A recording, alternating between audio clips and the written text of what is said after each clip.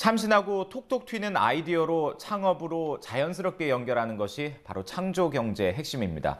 이 정부는 신규 창업자 1만 3천 명을 육성하고 이 유망 중소기업과 청년 여성 창업을 지원하는데 약 4조 원을 집중 투입하기로 했습니다.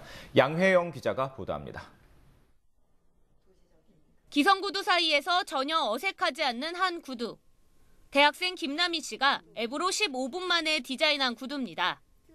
디자인을 모르는 사람도 스마트폰 앱 하나면 나만의 구두를 만들 수 있습니다.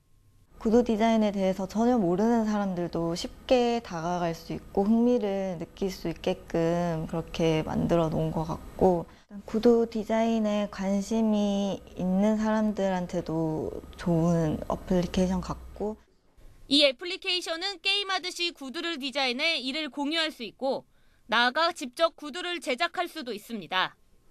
기업의 제화 기술과 IT 기술이 만나 일반인이라도 새로운 분야에 도전할 수 있는 기회를 주는 것.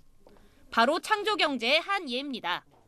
이 제화 산업에서 새로 신흥하고 있는 이런 스마트 컨텐츠 시장과 이제 접점을 잡아가지고 이제 새로운 컨텐츠를 만들어낸 게 이화도 디자이너라고 보시면 될 것 같고요. 약간 social 유통이라는 소비자가 유통을 하고 소비자가 소비를 할 수 있는 신 개념의 유통을 하고자 합니다.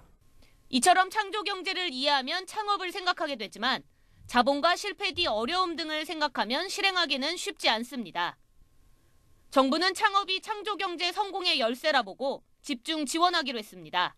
그런 개인의 상상력이나 창의력이나 이런 아이디어가 회사 어, 국가에 부를 창출하는 것 플러스 이제 개인의 뭐 재산도 늘리고 일자리를 만든다는 부분에서는 뭐 취업에만 매달리지 않고 창업을 꿈꿀 수 있도록 한다는 부분에서는 반드시 이제 제가 필요하다는 생각이 들고요. 1조 원을 투자해 창업자를 1만 3천 명 육성하고 청년 창업과 엔젤 투자 펀드, 여성 벤처 펀드에 5천여억 원을 지원합니다.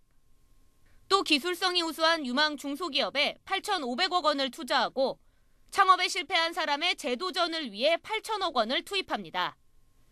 2017년까지 약 4조 원에 달하는 예산이 창업 지원에 쓰이는 겁니다. 또 국민들이 창조 경제를 체감할 수 있도록 온라인에서는 창조 경제 타운을, 오프라인에서는 지역 창조 경제 혁신센터를 운영하기로 했습니다. YTN 사이언스 양의영입니다.